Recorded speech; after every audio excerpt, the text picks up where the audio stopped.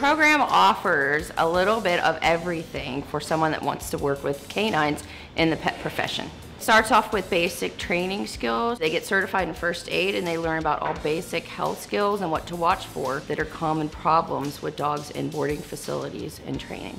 And we move further into training dogs and the rules that apply when we work for animal assisted um, interventions, animal assisted therapy, and then also we touch base on service work. I decided to join Hocking because I love dogs and I love anything having to do with dogs and I thought that it would be a great opportunity for me to advance and do a little bit more complex things like search and rescue and stuff.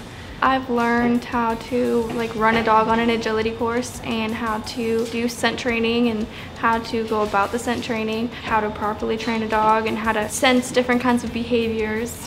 The program is a two-year degree and all of your books, and supplies are all included in the course fees. The Canine Animal Assisted Therapy program, it is actually almost one of a kind. And you can just learn everything you need to learn about all the different options for you in this field. And we're the only hands-on program in higher education. I would say that if you were a dog kid growing up, that's something that's not really going to leave you. I would definitely recommend coming here because the professors are great.